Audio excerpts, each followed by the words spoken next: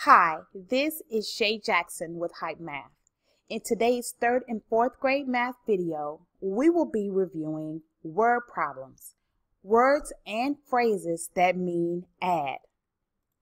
Come along with me, third and fourth graders, as we discuss different words that when we see them in a word problem, we know we need to add.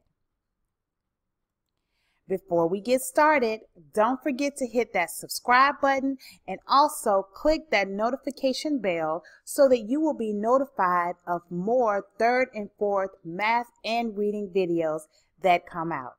Let's get started. So the first phrase we will be going over is in all. When we see in all in word problems, we know we need to add. Let's look at an example. There are four pencils in the drawer. Tim placed three more pencils in the drawer. How many pencils are now there in all?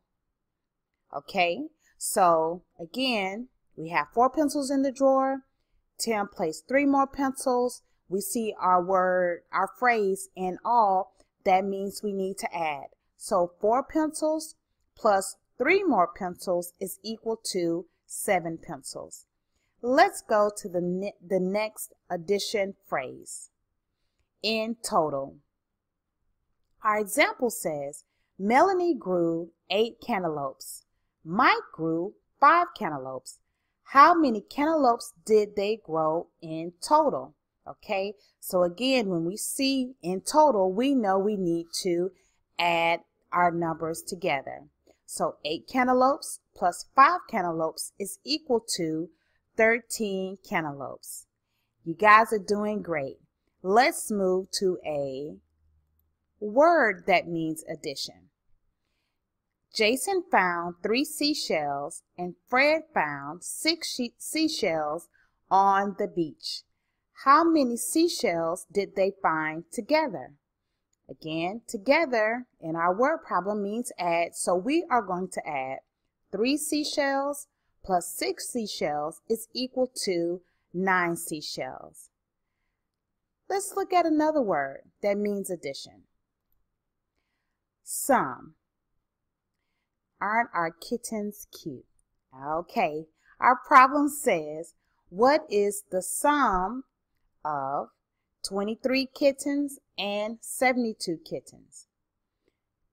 Sum means add, so we are going to add 23 kittens plus 72 kittens, and that means we have 95 kittens. Pretty simple, right? Let's move to another example. Combined. Sarah went to three basketball games this year. She went to two games last year. How many basketball games did Sarah go to combined? So since we know how many she went to this year and last year, in order to see how many games she went to combined, we need to add. Three basketball games plus two basketball games is equal to five basketball games.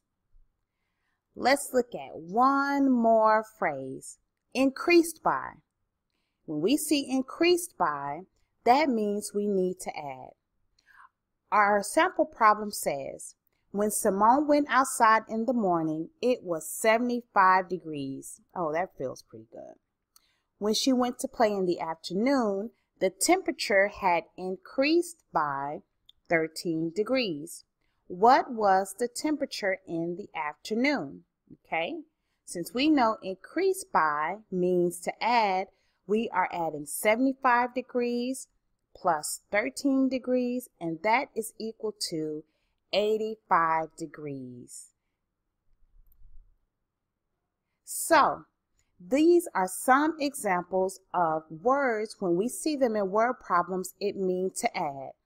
In all, together, added to, plus, combine, sum, more, altogether, increased by, in total, and also in total. Now remember, this isn't the full list of words that mean to add. So, can you think of any other words? If so, type them in the comments box. This has been Shay Jackson with Hype Math. Talk to you soon.